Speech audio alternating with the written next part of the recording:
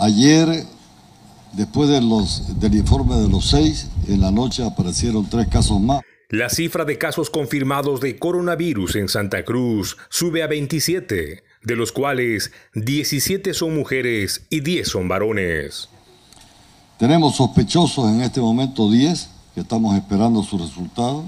Tenemos 291 contactos y hemos descartado 88 sospechosos.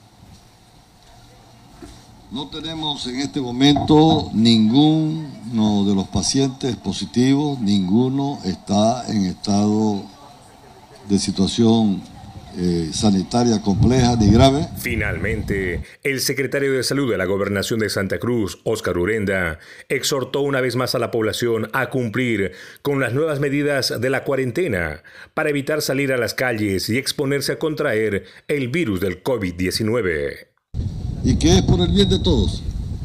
Y por lo tanto eh, queremos que se sientan protegidos por, por las autoridades, por nosotros.